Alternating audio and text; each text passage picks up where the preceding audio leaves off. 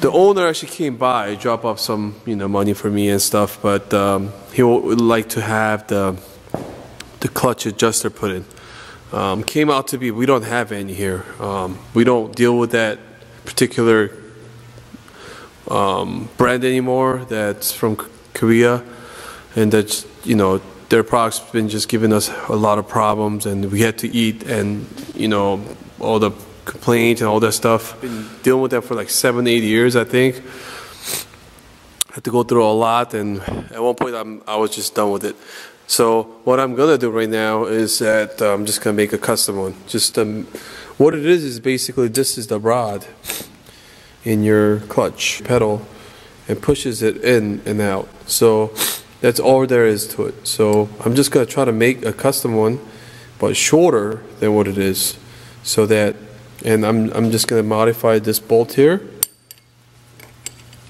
and then just weld that head, and if anything I could just adjust it with this nut here. The rod you just saw is over here, and um, this is the little cylinder that's separate from the brake, the master cylinder.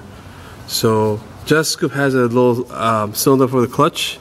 So I guess it's a slave cylinder or the primary for the clutch and another one in the transmission.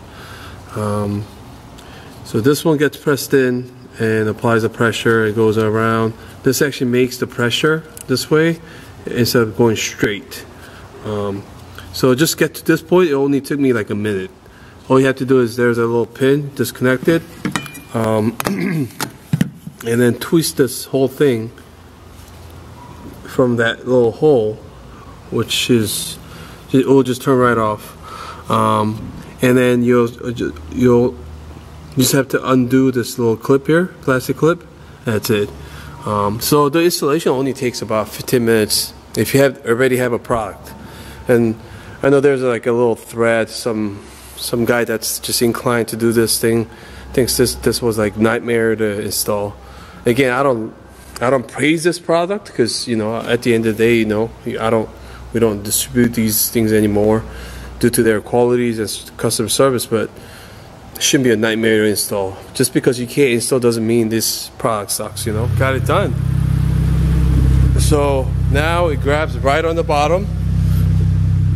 It's just not put together all the way, but as I requested, like as soon as I let let let go the clutch a little bit, it just it bites right there. So as requested, that's the uh, what the owner likes to have, and how he feels right now. So yeah, okay, I kind of like this too. All right, so this is pretty much what it's gonna look like. Kind of cleaned it up and shaped it a little nicely. You know, do the job just fine. I test fitted it and everything. It feels good. So I didn't want to grind too much off here. So you know, it gets out the um, has more material here than you know. But still, this is a plastic. This is a metal. So you know, it's a little skinnier, but it will, will be a lot more rigid. So